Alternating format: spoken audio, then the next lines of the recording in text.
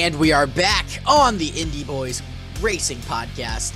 That was a little bit of a scuffed intro, I'm not going to lie, but how are we doing today, guys? This is Tristan Grider, joined with my co host uh, Daniel Chaney and Justin Cox, episode 38 of the Indy Boys Racing Podcast with Marion Phoenix and with Burnout Sports. Justin, how are you doing today, brother? Man, I'm doing pretty swell. Um, I thought Talladega Wow. was actually pretty good. So, uh, like, and I think Singapore was all right. It, it was pretty entertaining because of the safety car action, but I, even outside of that, I thought the racing was genuinely all right. But uh, I thought Talladega was pretty cool. Um, outside of racing, I guess my life is pretty all right. Classes are cool. Um, Love to yeah. hear. Love to hear. So yeah, I think everything's pretty cool over here in Justin's corner. So uh, Daniel, let's hear about your corner, buddy. Well, I am not sick anymore, so I am vibing, chilling, or whatever you want to say. I don't know why my immune system has decided to crap the bed since I became an RA, but um, I don't have strep anymore, so we're vibing on that front. There you go. It was a pretty solid weekend of racing. I was not able to watch much of NASCAR. I didn't get to watch any of Cup actually. Oh wow. I just had to I had to keep up with it on my phone. Sheesh. Um, but I did get to watch the second half of F1. Singapore was pretty solid, at least the half that I saw. So I enjoyed the weekend of racing. I enjoyed seeing that people enjoyed it because obviously, when I can't see a race, I like to view social media and see kind of what the general perception is. And the perception was pretty positive of Talladega. So um, love to see that. I'm excited to keep talking about this weekend with y'all. Oh, I forgot to mention. If you're looking at my hair, there's no more bun up here. there's no more bun. It's all back down. There's no more, there's no more Cinnabon up there, man. no more Cinnabon. I mean, uh, like Indy boy, Indy boys left the long hair gang this year. we, We did. really did. I mean, Tristan's hair is short now too. Like, everybody deserved the long hair. That's crazy. you know what? We'll go. We'll go hat off for this episode in honor of the short hair gang. Uh oh, we're gonna get crazy this episode, guys. Yeah, man. I can't. My hair looks like crap today. My hair I have some. like crap today. I I'm have not. some hot. I have some hot takes uh, for this episode. Oh, we Um, are gonna get Life's crazy pretty then. good. We are gonna. Get Life's crazy. pretty good uh, this week. Uh, always remember, guys, you can find all of our uh, content um, at our website, which is our link tree, Indy Boys. Uh, make sure you guys buy the uh, buy the merch, indieboysmerch.com. And uh, make sure you guys check out burnoutsports.com for uh, uh, for articles and uh, by Tony Donahue and on the IndyCar side and NASCAR articles by myself. It's gonna be a good one. Let's hop into everyone's favorite news segment in the world, Motorsport Media. Okay, let's go ahead and start on the NASCAR side of things. Going to start in the truck series. Uh, a little bit of an update on Jordan Anderson. He has been released from the hospital and is now just recovering from uh, from burns. So that is really good to hear. Um, Larry McReynolds broke that news, so I'm happy that Jordan Anderson is okay after a very scary incident that was inches away from being catastrophic. Uh, so it's good to see that Jordan Anderson is okay. Did you notice that in some of like the pictures from the broadcast and stuff, it looked like his suit was burned off on. I think it was his right arm. Like Mm, I think it could be wrong. I, I, it might have been the suit design, but from a distance, it looks like because like the other arm is black, like it, it's black, like it, you can Mhm. see the fire suit. But it, like on his right arm, it looks like it's kind of burnt off. So It's crazy. I did not Uh, notice that. yeah, I'd have to Yeah, I didn't either. I don't know. I don't know. I, I saw pictures and people were tweeting about it. I, I don't know if it was actually just a suit design that makes it look like that or something, but it really does look like that, honestly. So Mm. All I know is that uh, Good Morning America tried to capitalize on the fact that something bad happened, Dude, yeah. and then they put pictures of uh, Myatt Snyder instead of Jordan, Jordan Anderson. Anderson, And they tried to tie it to the next gen. They Yeah, were they like, yeah, the next gen has, has been having some issues with concussions. So here's a video of a crash, and here's pictures of the driver, and it wasn't him, and it wasn't even next gen. It was literally It just- trucks. It was It just something that proves to you.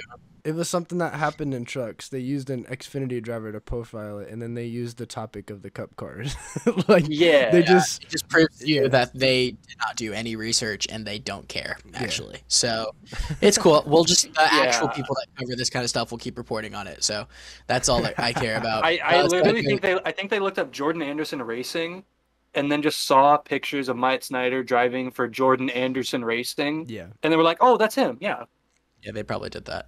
All right, let's go Xfinity, guys. Um, so obviously Roval weekend coming up, so we're gonna see a lot of people um, doing some uh, some road course ringing.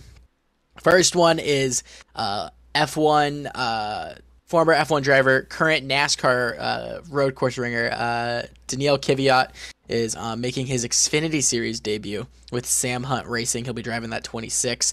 Um, there were some rumors if it was going to be Ferrucci, but it's going to be Kvyat. So uh, super exciting there. Um, Kaz Grala is going to drive the 34 for Jesse Iwuji Motorsports at the Roval.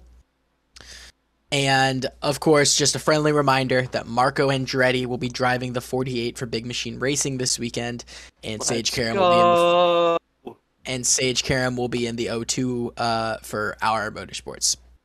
So you guys can check out a full list of all of the road course ringers at NASCAR.com.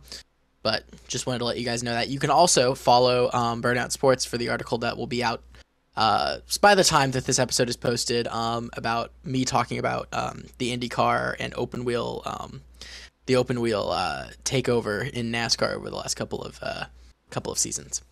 All right, Cup Series news. Let's talk stuff that happened a couple weeks ago. William Byron has been fined 25 points and $50,000 for spinning Denny Hamlin under caution. Um, that appeal will be heard this Thursday. So we will report on that next week for all of the news that's going on there. Uh, you have a Byron flag literally in the back. I know. don't know I know. I know. like if that. you listen to last week's episode, you know my take on it. I'm just joking right now. so. Uh, at the same time, Ty Gibbs has been fined 25 points and $75,000 for slamming into Ty Dillon on pit road. These points go towards the Cup Series uh, ride that Ty Gibbs has not, his Xfinity Series venture. However, um, since he is a repeat offender, offender of hitting people on pit road earlier this season, he did that in the Xfinity Series with no with um, Sam Mayer. Um, Oh, yeah. Gibbs uh, will get fined 25000 more than Byron. yeah, remember Mike Tyson Gibbs, bud. Mike Tyson Gibbs. Oh, yeah. Shout out to Mike. Shout I guess Mike I for that. forgot. I forgot the context. yeah, Episode 14. How can I ever forget? That was the first time we had Stingray on. that's true. True. And That's also uh, true. let's talk some one-offs.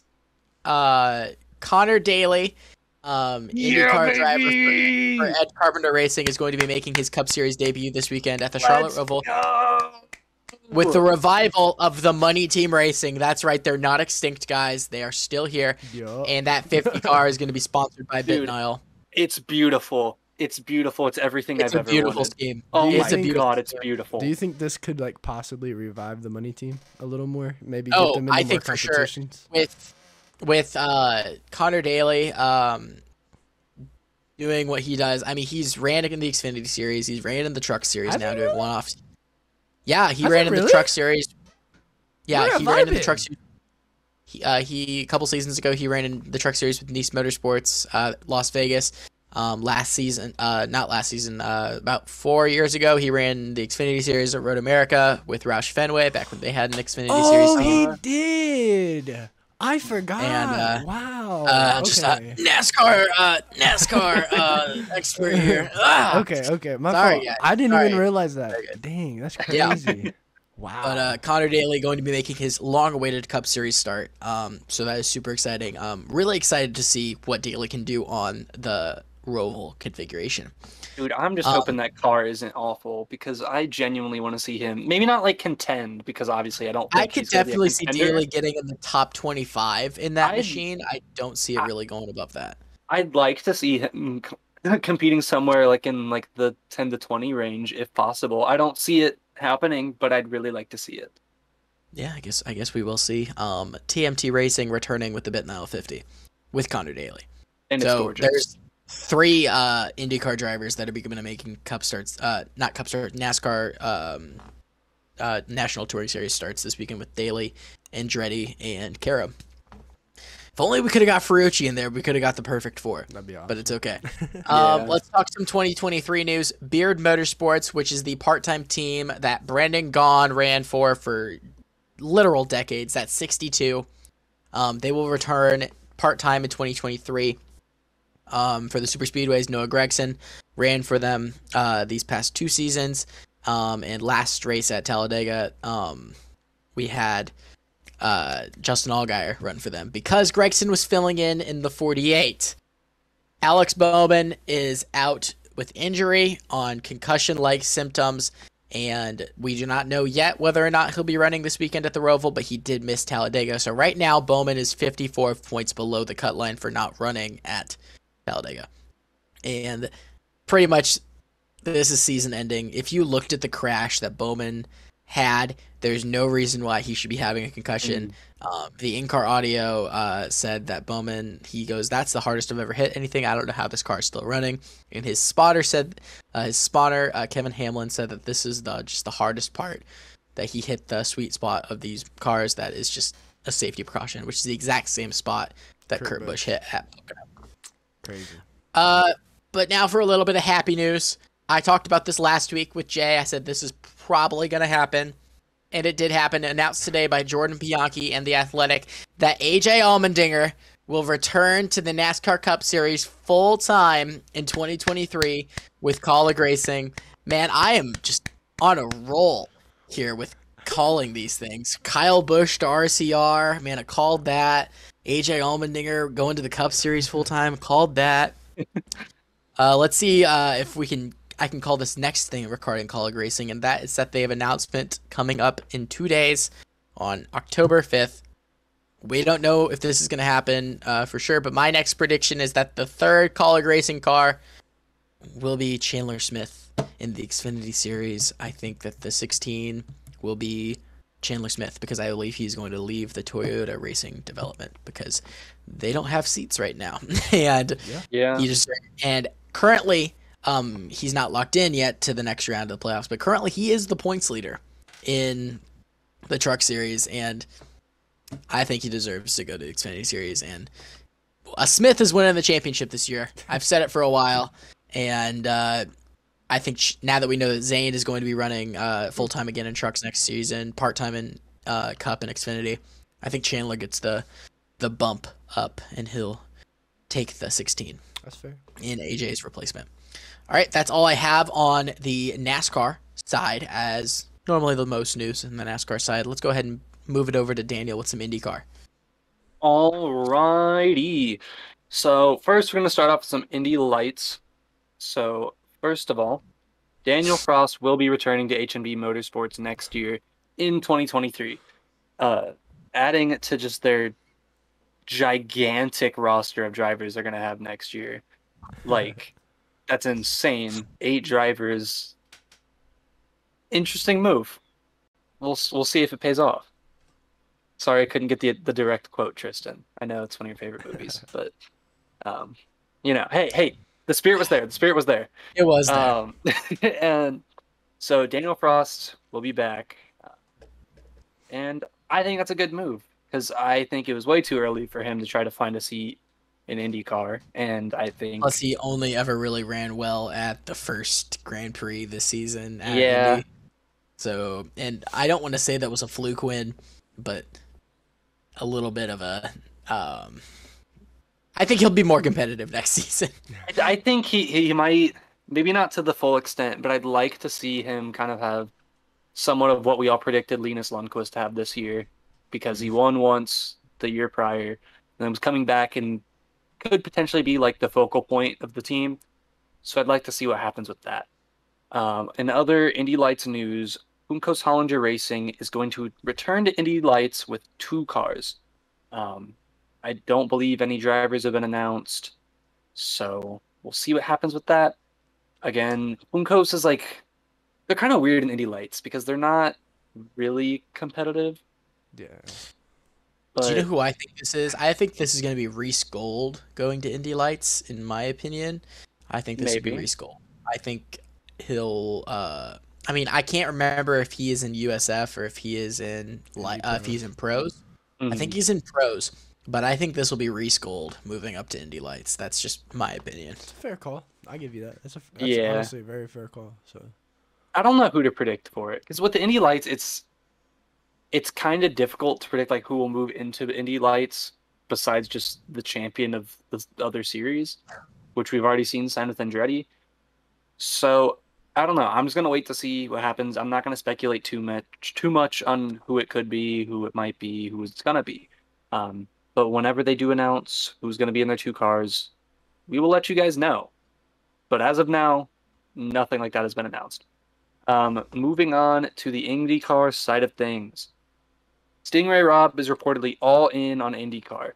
Obviously, when we talked to him, he made it very clear if there's a ride available, that's plan A. And if there's no rides available, which is kind of hard to tell right now, because we're in a spot where the seats, as of now, are available. But drivers that are speculated to be in said rides have not confirmed if they're like out of the running or going to be in the you know what I mean? It's it's a weird spot in the silly season where we think the seats are taken, but technically the seats aren't. Right. So we'll have to wait and see if there will be any openings for Sting Ray Robb. Um, he teased with us that he could potentially be testing with some teams, but nothing official has been announced as of now. Um, moving on, Ben Pedersen will be in IndyCar next season with AJ Foyt Racing. We don't technically know what car yet. They have yet to say what car. It's predicted it'll be the fi- the 14.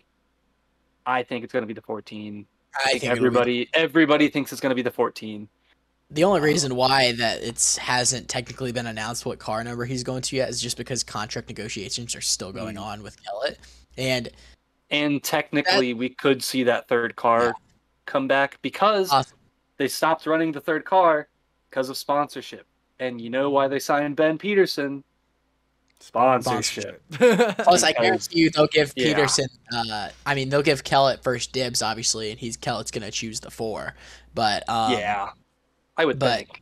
Pedersen, I guarantee you, will get his uh get his um choice over the fourteen or the eleven, which Yeah. he'll choose the fourteen. So I mean, 'Cause why wouldn't you? Why wouldn't Yeah. you? why would you not choose the AJ Foyt fourteen? The That's just- only reason yeah. I the only way I could see him not being in the 14 and being in the 11 is if they have the 14 and they have Linus Lundqvist.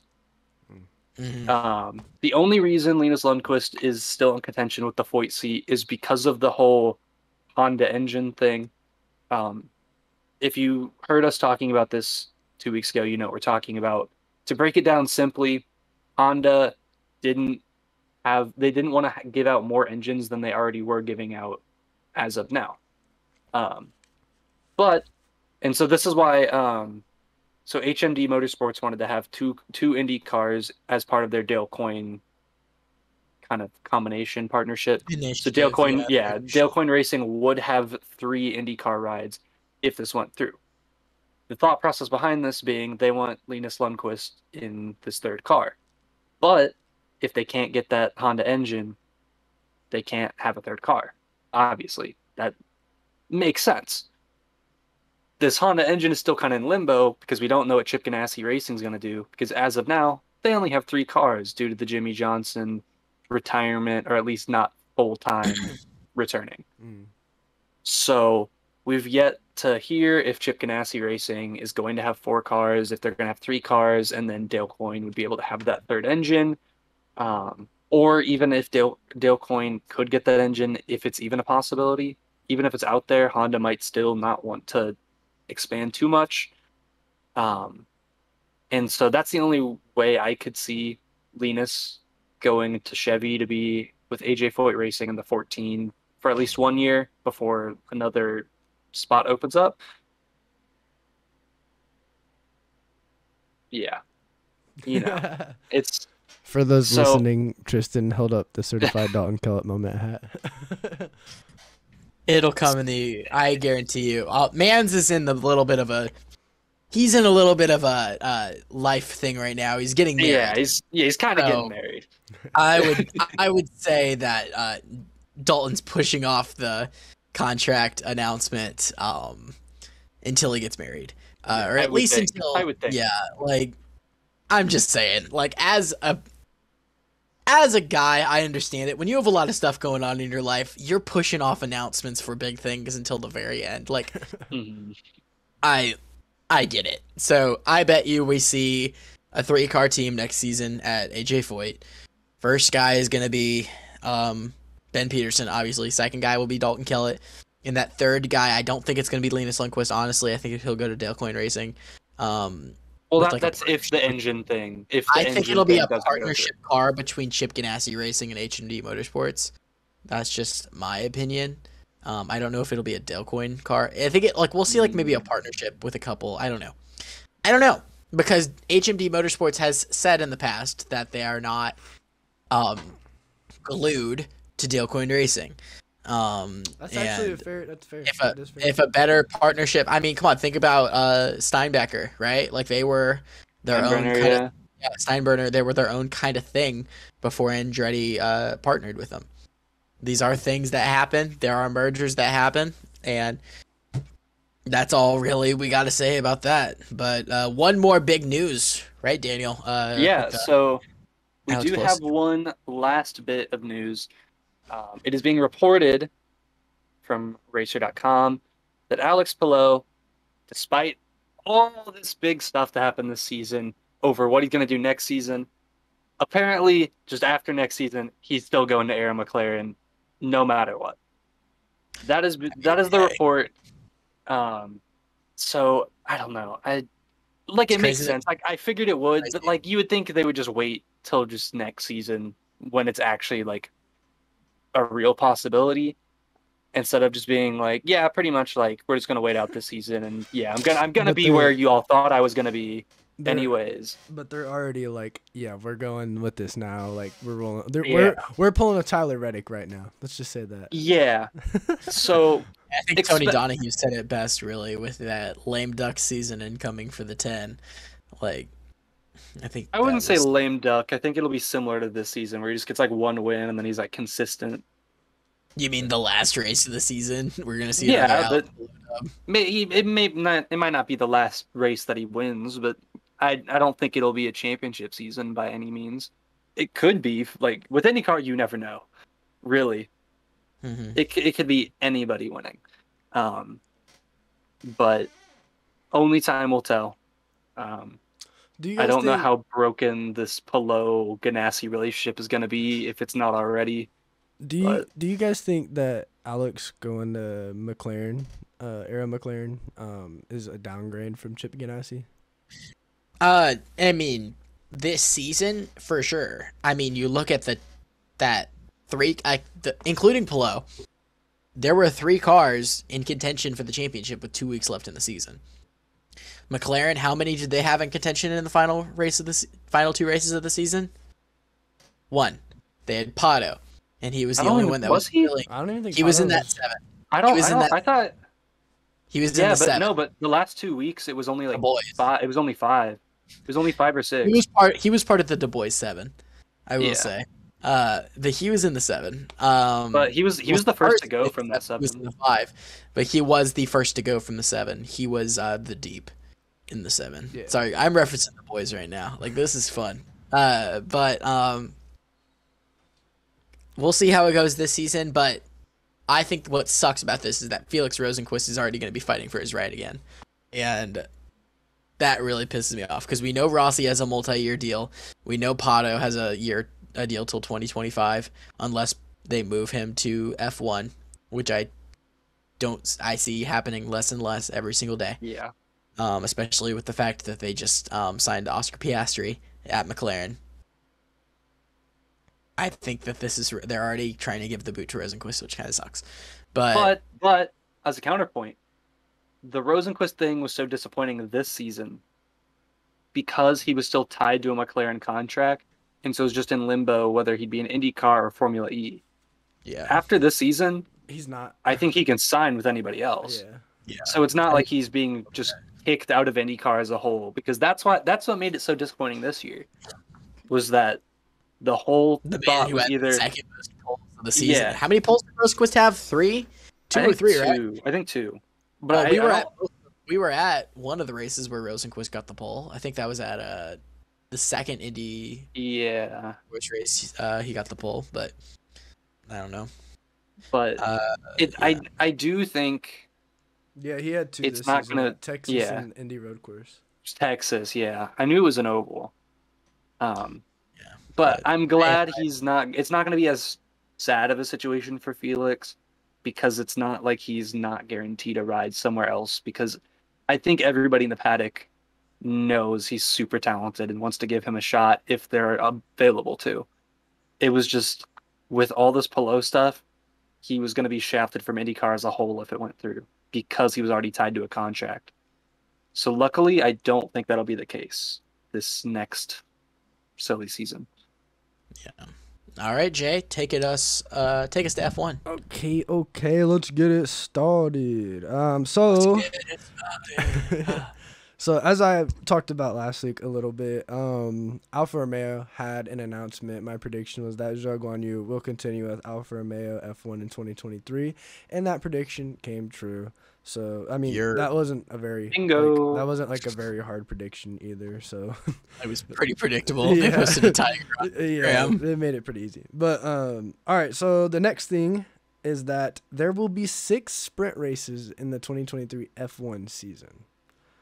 We don't know exactly where those are going to be at just yet, but I, I don't think there's an official release on where they're going to be at. I didn't see one, but Yeah, they didn't um, release anything. but there is going to be six. Um, what's your guys' take on having six sprint races?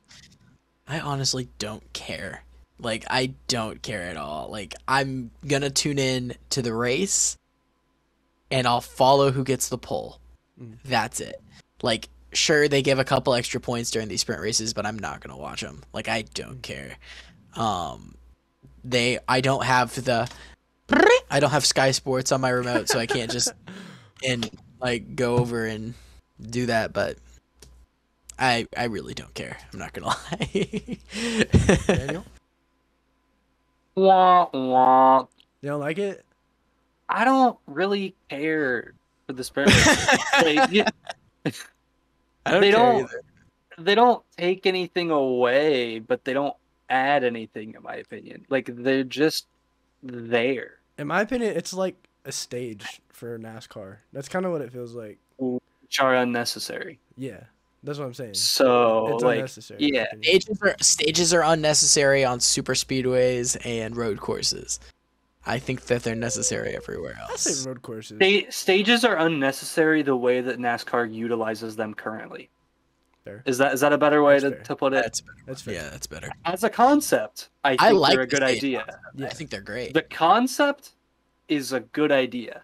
I just don't The think it should be a caution. execution is not Not always it. good. I don't think Yeah. we should have a stage break in the truck Yeah. series every ten laps. I'm just saying. Yeah. Like what was it at road courses this season? They would run five laps of four or green, and that would be yeah. and that would be stage one. Mhm. And like then, dog, like, you in this- barely tested your tires this- at that point. Even this past weekend at Talladega, we ran, I think, 15 laps, and then we had a stage break. Something like that. Like- yeah, that's pretty close. That's crazy. Yeah. And like the stages only- would be like 15 laps, 15 laps, and then like 60, Yeah, because there was only that- what? I Like, wasn't there only like 94 laps in the truck race or something like that? something like that. I, think mean, the, so. the Xfinity race I think had one 113. 113, Yeah, and the. Cup race had 188. like normal. But, like, but yeah. In that- Cup, it makes sense because they did 60, 60, 68. In Yeah. trucks, it would be like 15, 12, like or something like that. and then 45 right at the end to make a long I don't last stage. But it is what it Stupid. is. It is what it is. Uh, Yep. To keep going, um, the further reports emerging that Red Bull could have exceeded the budget cap last season in F1. Um, potential sanctions could include a hefty fine and being restricted in development for 2023. Also, by the way, I didn't mention the beginning, this news, all this news is coming from Formula Racers on Twitter. So make sure to go follow them, check them out. So, um, yeah, but yeah, so apparently Red Bull exceeded the cost cap, um, the budget cap for last season that they won the championship with Max Verstappen.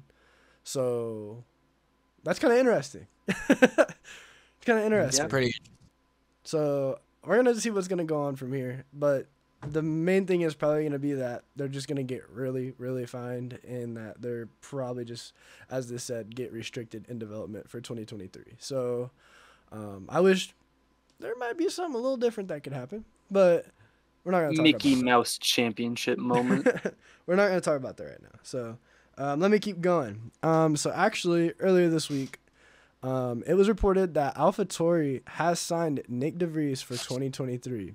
So this means that Gasly has likely signed for Alpine. What? Yeah. Nyck de Vries. Where the he- where the where did you? oh, Nyck de Vries signed with AlphaTauri. wait, so this means That means Gasly is going to Alpine. Logan Sargent is going to Williams, baby. That's what that means. That's all I hear. That's all I. That's all I oh. hear in this ear right here, bro. I hope Logan that's what I'm Sargent. hearing. Williams, I hope that's what I'm hearing. bro, But that, that I thought he was a shoe in. No freaking way.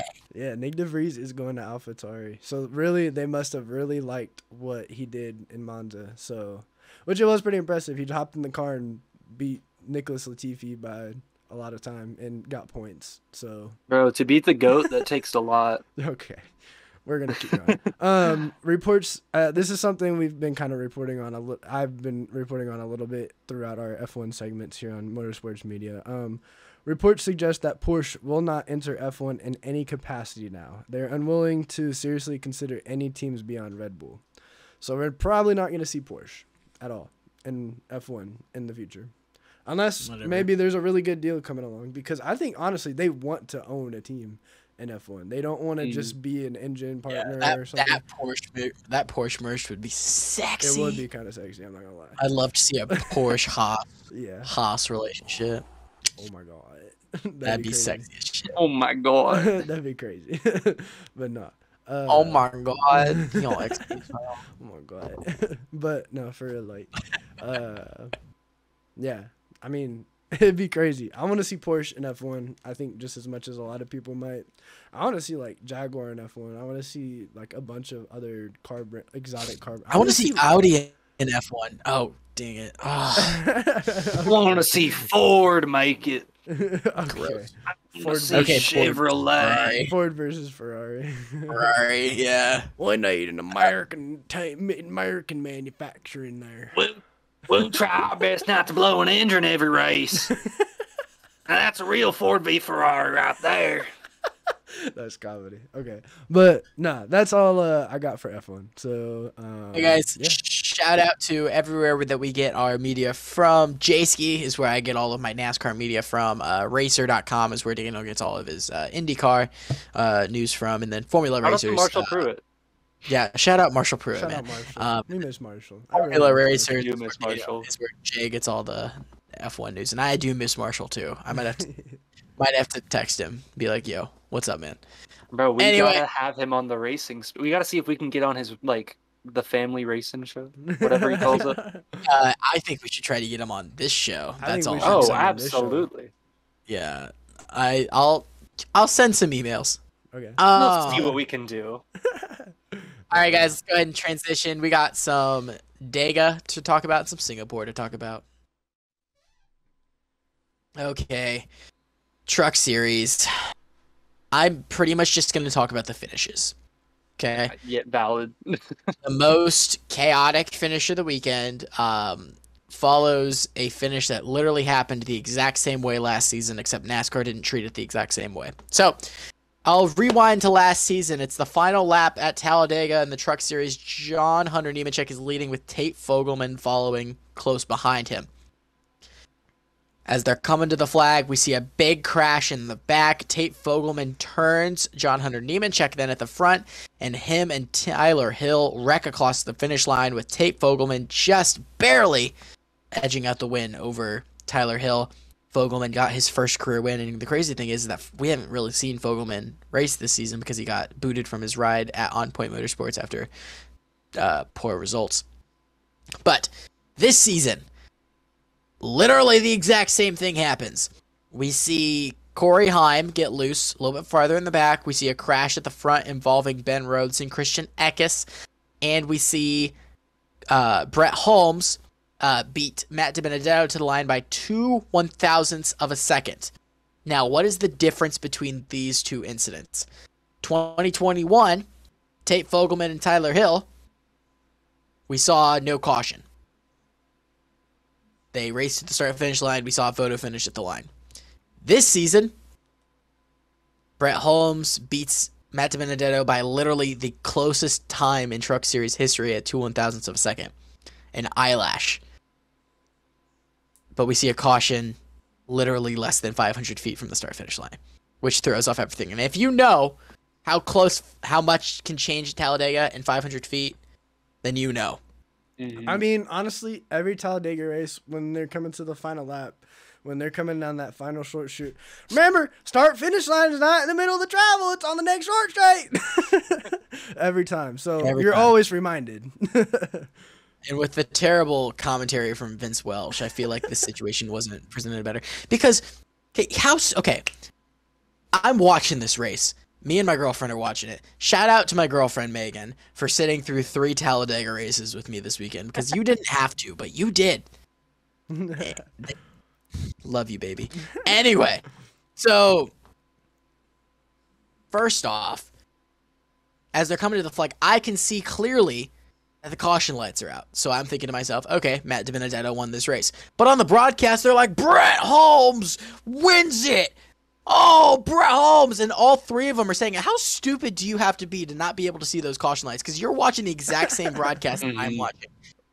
The exact same one. How clueless do you have to be? And you know that they're saying it in their ears. But like they were going on about Brett Holmes getting his first win for like two minutes. And literally driving me insane. I was so pissed off. And the entire time I'm yelling at the screen, I'm like, listen, you're wrong. Just report on the right thing. And just bothered me. Uh, so finally, they declare Matt Benedetto as the winner. Nothing against Matt DiBenedetto. Uh, the person that is ahead at the time of caution should be awarded the win. He's right. Um, Matt Benedetto won this race. However, I'm pissed at NASCAR. Why am I pissed at NASCAR? Because you enforce wanting them to race back to the line, but you throw a caution 500 feet away. That pisses me off. Um, it just annoys me because they didn't do it at all last season, and it's stupid. And I want to know what you guys should think about it. Should on the final lap at Talladega, if they're on the front stretch, should they nullify cautions? Should they just not throw cautions if they're coming to the checkered flag? It depends on the severity, is what I think. I don't think that Rick was necessarily severe enough. Now, um, I can't remember who it was, but they did get pinballed around, pinballed around a lot in the background. That It was uh, Corey Heim. Corey Corey, Heim. Heim got Mhm. he got pinballed Time, yeah. around a lot, and it was it was kind of bad. But I don't think the severity of that accident. And I'm not saying it wasn't no cars. so- No cars got up in the air. yeah, Uh, no cars truck- got in the air. Um, like I, I think they should have let them race the line. Honestly, um, I think it was kind of dumb to throw the caution right at the start finish line, and I think that's dumb anywhere, not even just Talladega. Like I think that's dumb when they did it at uh, what was it, the All Star race earlier this season. All stars. Yeah, I think that's dumb anywhere. Like, if something happens and it's like literally coming to the line, just let them finish the race. Because after that, everybody's gonna be slowing down anyway. You're gonna be able to get safety vehicles and everything out to the people because all the other cars are gonna be on the opposite side of the track. So I personally think they should have let them race to the line. Um, I think it was a dumb call by NASCAR.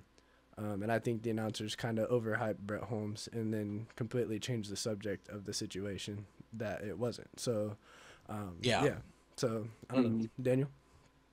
That's that's pretty much what I think. It's just like in some cases I think it makes sense to just like call it right when it happens. But it would I feel like they just threw it way too early when in some situations where they're very comparable they didn't. And I just think we need like the consistency there. You know what I mean? I mean, I put it most. I am literally comparing it. So in my article that I wrote for Burnout, I am literally comparing it to Tate Fogleman.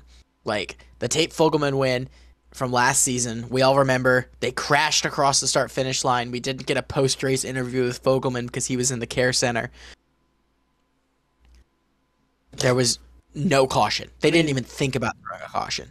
Like, and those there were some pretty hard. John Hunter Nemechek hit the wall pretty damn hard last season, and they didn't call a caution. I mean, did they? Did they? I don't. I can't remember. This has been kind of a while. It was 2020. Did they throw a caution for Ryan Newman? Coming to No. the line and flipping. Did they throw a caution for that? No. I mean, that like in that in that case, that makes sense because he literally flipped and got literally Mm. railed by Corey LaJoie. Not in yeah, but um, Yo. but he got railed dang by. Corey. Pause. he got railed Hold by up. Corey Wait a LaJoie minute. And Something ain't right. he got railed by Corey LaJoie in the top part of his car, and you don't throw a caution because you let them race to the line. In that sense, I would have been completely fine with the caution because either way, like it was either gonna be Blaney or Denny winning, because those two were right there at the neck, like neck and neck at the line anyway. So either way, racing to the line that didn't really matter. But I, I, I don't know. It's just dumb. It's just And you dumb. put the same, you put it on blast as well in the 2021 Daytona 500 when Brad Keselowski hit the fence.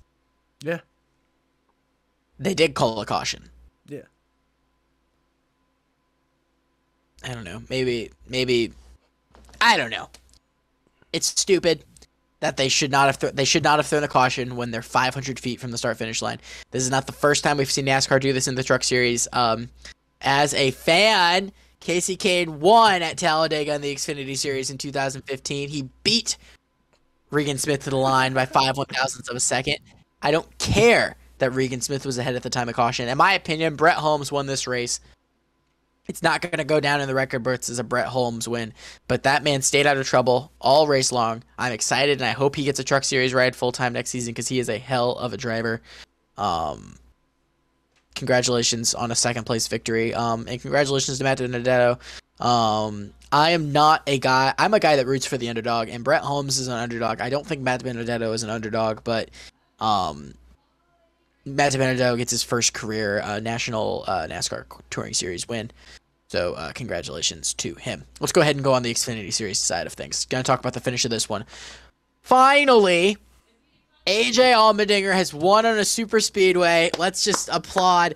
This man is always leading when it comes to the start finish line and always gets effed over. It's really freaking good to see. and I'm happy for my man, the man who doesn't wear hats, gets out of the car and just celebrates with the fans. He doesn't care what people think. And I'm so proud of him. He still says that he hates this kind of racing. And I'm not going to lie, I love it and hate it too. And he has a love hate relationship with this kind of racing. But I bet you he was celebrating winning at Talladega. Um, I want to talk about the second place finisher, Sam Mayer. Sam Mayer is scarily becoming a very good racer. Like, Mhm. he's always kind of been good. Like Truck Series, obviously his first Truck Series start he won. Um Arca, he was always great. This season, these past two seasons really, he's been last season was kind of rough for Sam Mayer, but this season, playoff driver, currently uh in the top 8 in points. Sam Mayer is scarily making himself a championship 4 contender. And I want you guys to tell me really quick is Sam Mayer going to make the 2022 championship four? I'm going to start this one with Jay. Yeah. In the Xfinity. Yeah, that's a great possibility, honestly. I mean, if you can keep up the consistency and maybe even get some wins at that, like here, in, especially if he can win at the Roval this weekend, and then he can Mhm. get maybe a win or be really, really consistent in this next round of the uh, playoffs if he makes it. Yeah, I, don't see a problem with him not being in the championship four. So, um, I'm really looking at Martinsville, in my opinion. I think Yeah. that he, if he makes it, I think he will make it out of this round. Um, I think he'll have a solid run at the Roval. I think he'll have like top 10, maybe top 15. I think he'll have a solid run at the Roval, but I'm looking at Martinsville. That's where I'm. I Sam Mayer is a short track guy, and I'm looking at Martinsville. But also, he's gonna have to contend with his teammate Josh Berry for that win at Martinsville. Um, but I'm looking at Martinsville for Sam Mayer. I think that'll be his telling point whether or not he makes it into the Champ Four. Daniel, what do you think about Sam Mayer making Champ Four for Xfinity? I think it's very possible, but he's gonna have to he's gonna have to beat out some tough guys, some Yeah. tough guys, because obviously AJ Allmendinger and Noah Gragson have already won, so they're locked in the next round. They're always gonna be favorites for wins every given week. Ty Gibbs is a favorite for a win every given week. Austin Hill can just pop out of nowhere and win a race. Same with Josh Berry. Same with Justin Allgaier. Those are the six people directly above him in the standings. I think it's very possible, but it's hard to bet against the six guys ahead of him, in my opinion. Especially someone like Justin Allgaier, who just can pick up consistency out of nowhere. Like, Yeah. it's doable, but it's gonna be pretty difficult for him. It's possible though. I, I, Hey. but Hey, you never know. Uh, we're cheering for you over here, Sam Mayer. Though I'd love to see you, love to see that one in the championship four. All right, Cup Series time. In my opinion, uh, the cleanest race of the weekend was the NASCAR Cup Series race at um, Talladega. Only really saw one incident uh, at the beginning of the race. Every single guy that was full time in Xfinity decided to crash. Um, Yeah. With Gragson, Justin Allgaier, and um, Ty Gibbs. Um, Allgaier was filling in for Noah Gragson in the 62. Gragson was filling in for Alex Bowman in the 48. Ty Gibbs filling in for Kurt Busch uh, for 2311 Racing in the 23, which is originally driven by Bubba Wallace. So a lot of guys filling in for a lot of guys right here. And then Harrison Burton was also involved in this crash. I want to talk about the finish of this one. Chase Elliott steals a super speedway win, in my opinion. I don't think he was the best car. Um, I personally think he shouldn't really have like I don't think he deserved to win this race, in my opinion. Uh, but he got up there, he got the win, stole the win. He's the points leader, so he deserves like to be in that next round. And I, I didn't think there was any doubt that he was gonna miss. And the thing is, he's gonna go to the Roval next week and like have another great race, which is crazy.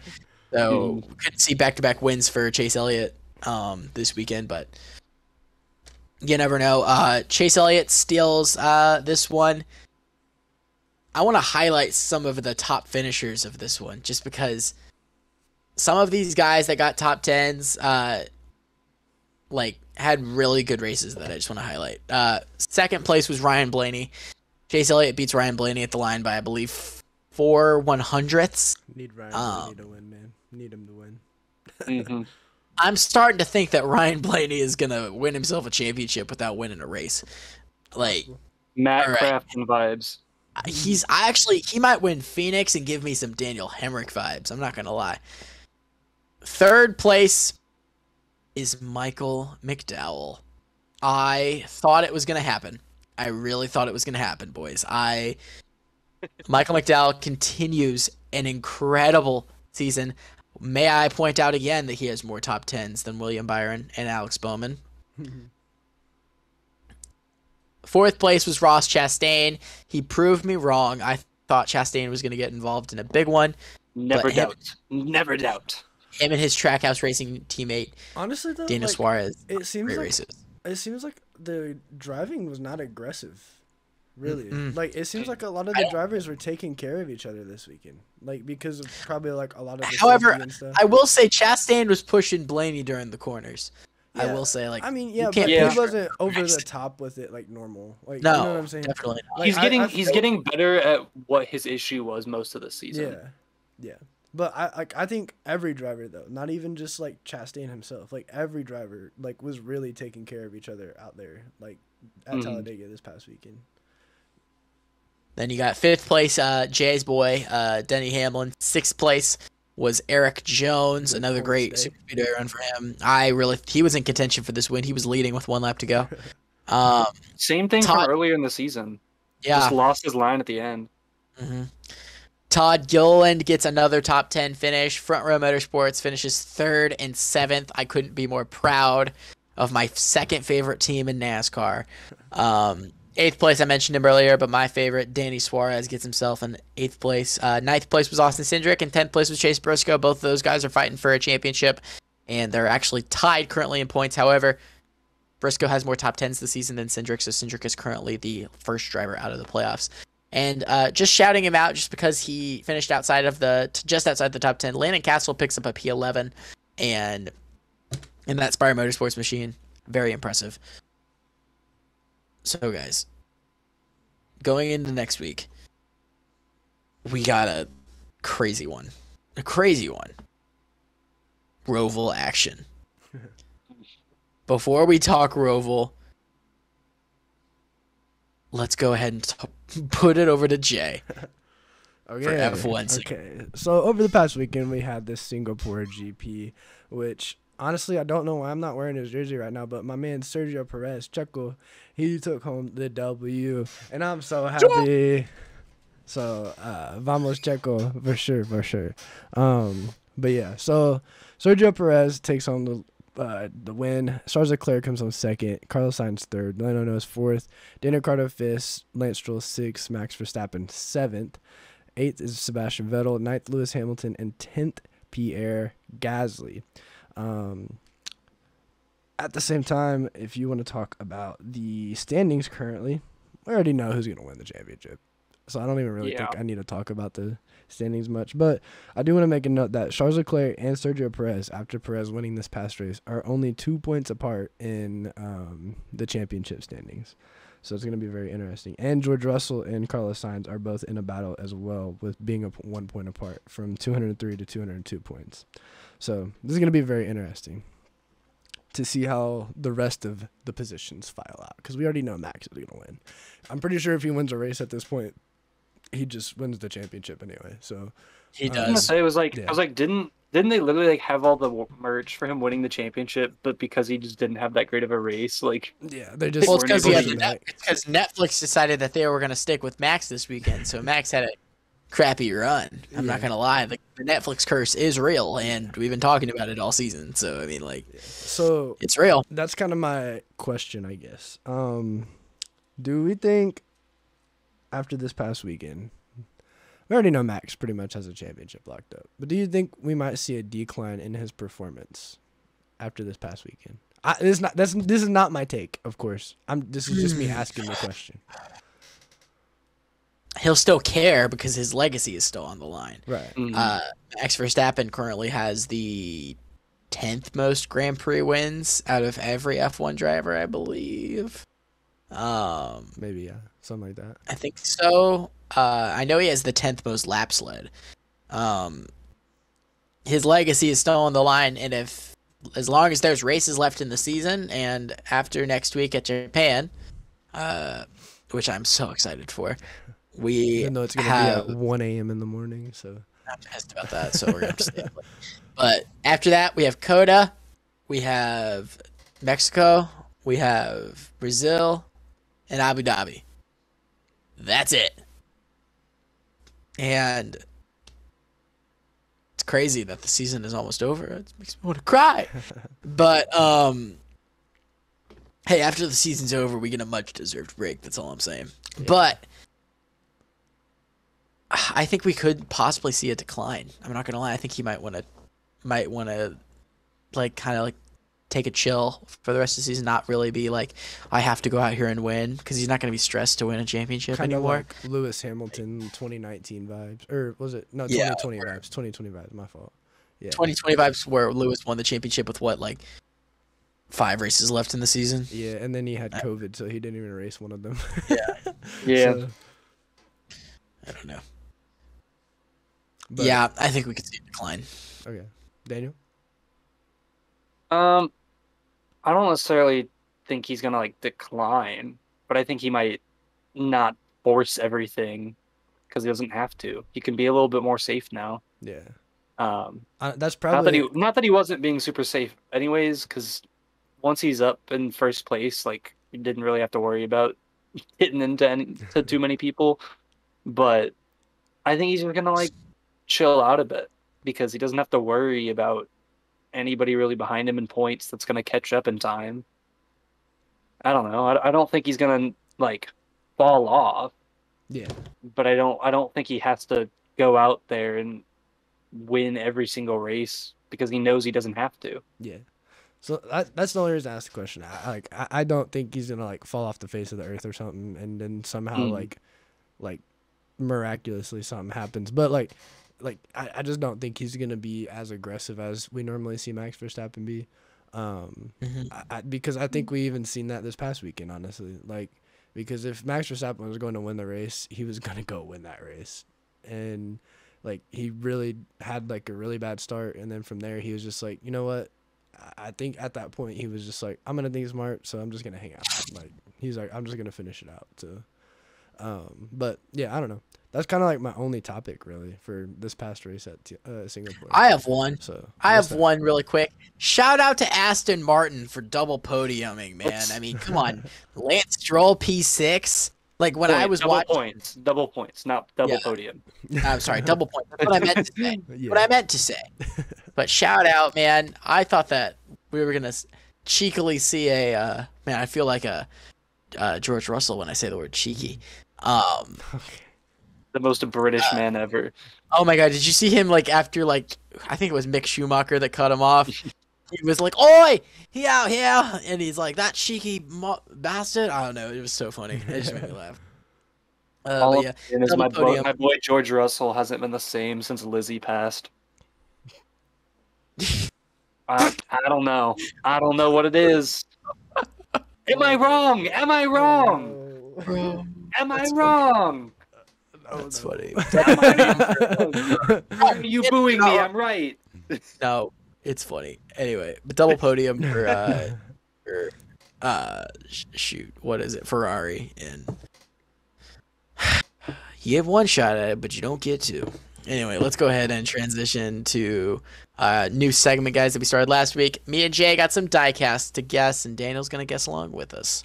Alrighty. All right, Jay, you want to go first, or do you want me to go first? Um, I can go first. Um, are you All right, guys let's- uh, going to like go. work together or? Yeah, I think we go every other question. So let's go Yeah. over the rules really quick, Daniel, because you weren't here last week. So Okay. we have 10 questions. I am keeping track of the questions on my phone of how many that we have. So we each get five. However, they don't count as questions, but we both get uh, lifelines. There's three of them. Um, the first one is guess the number. We cannot do guess the number until the final two questions. So like nine or ten, you can't do guess the number. Mhm. You can do guess the sponsor. Guess the sponsor is you are told what sponsor is on the car. Okay. And the final one, if you are completely lost, is show the diecast. Your goal is going to be to guess the diecast and the car. So the driver. So you have to Mhm. guess the driver. So kind of a little bit of a variation of guess the driver that we did at the beginning of the season. Right, right. Guessing a specific diecast. And at the end we get to show it off. Yeah. Alright. And Alright. uh would you rather and my personal diecast Jay is signed. So would you rather me show the autograph or show the sign or show the sponsor? You can do autograph. Okay. So like you'll to- you'll work with Daniel right now, and then for years I'll Yeah. work with Daniel. And Okay, so am I going first or is Jay going first? Uh, I don't care. I- I'll go first. You go first. Yeah. Go first. You go go first. Okay. All right. You guys ask. All right. Question one: Is this car in the NASCAR series? It sure is. It's a NASCAR series car. Okay, that's question one. Daniel. Is this car a Chevy? It is not a Chevy. Ooh. Okay. All right. Question three: Is this car current? It is not current. Okay. So that 21, 2021 passed. Is this car a Ford? It is a Ford. Ooh, Ford. Question five: this car has this car been driven in the past decade? Yes. Okay. That Do you want down the a exact date, like the exact year? Do you think that's fine? Sure, yeah, you can do that. 2004.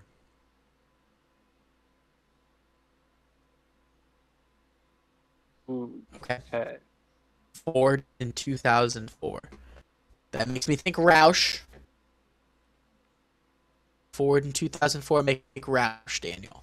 Was So was Penske was Ford back then? Was Penske Ford Penske back was then? Dodge. Penske was Okay, yeah, I did, I did know that. I did know that.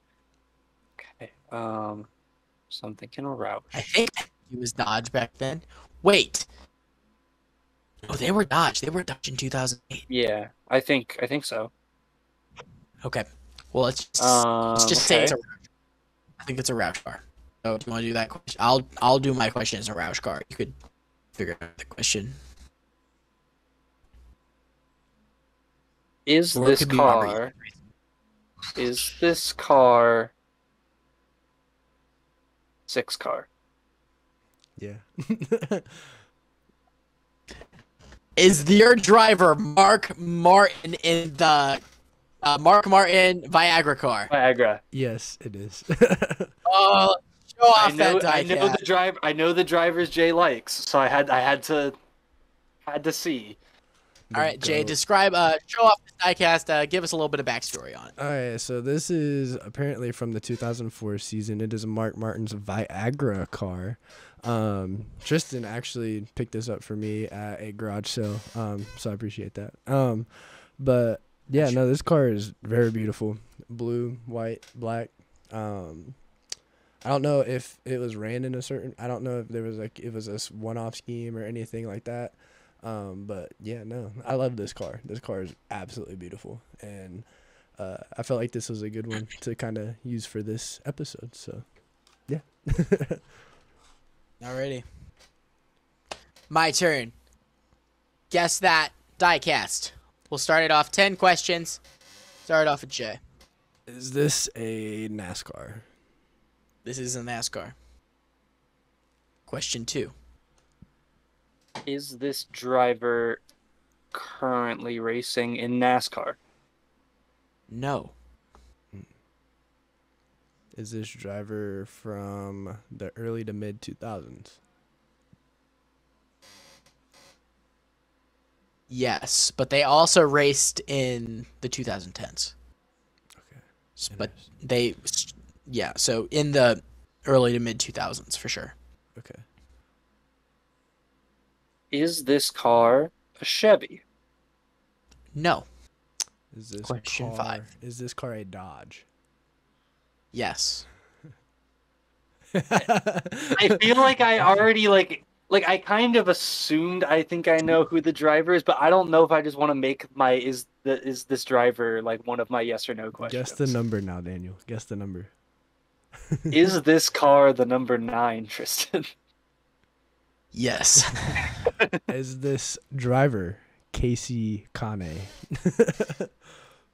Casey Kanye. No, it is not. Con- uh, de- Kane. Kane. uh, yeah, Kanye? Con- Kanye? Kane. Kane. Yeezy? Yeezy?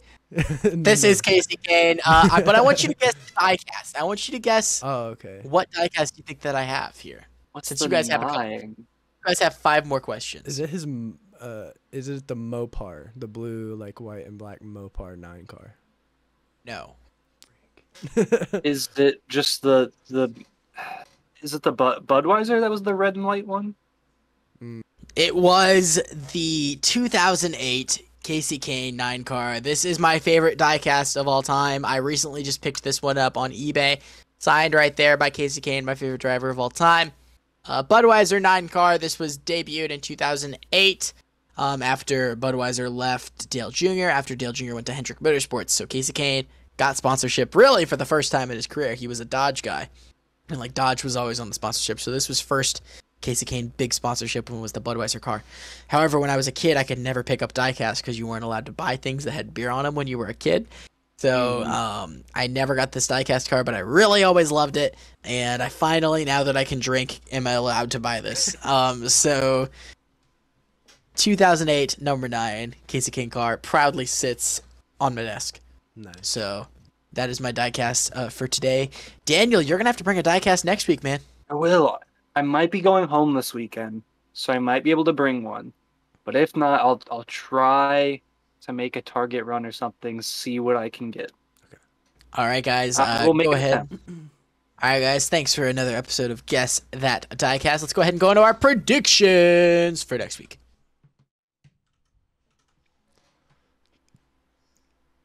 All right, as always, Jay, take us through it. Yes, yes. So after last week, I forgot to change the tally here. She comes, so I added to the tally. Um, she comes to add to the tally. uh, so um, none of us got our NASCAR predictions right at all. um, Damn. Uh, yeah, Just proves you how crazy Talladega is. Yeah. Um, I was close with Ryan Blaney. I had Ryan Blaney. You were so- very close with Ryan Blaney. So I could have had two points, but I was the only one that ended up getting points after this past weekend. At um, it's not and up here. Let me change this real quick. There you go. Uh, so after this past weekend, I was the only one to get points, and I only got that one point because of Charles Leclerc finishing second, and I had him predicted to finish second in my podium.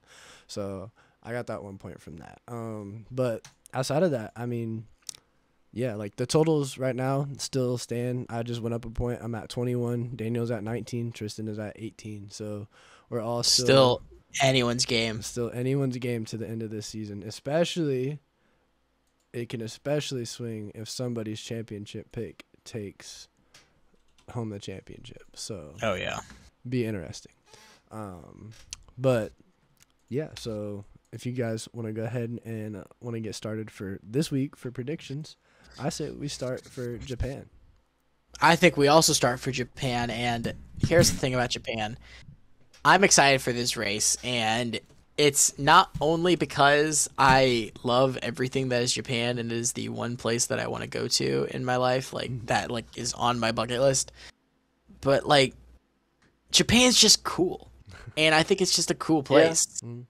And when you look at the results from last year, this was a pretty good one. I mean, do I go with the same guy that won last year? That's the real question.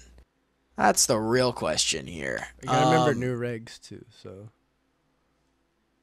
I mean, with the first time that this race was, the last time this race was run, I apologize, Valtteri Bottas won it. And I don't want to go Bottas just because of the year he's had. So I'm going to go safe and I'm going to go that Max Verstappen clinches the championship this weekend. Um, my s- second, number two, P2, this weekend.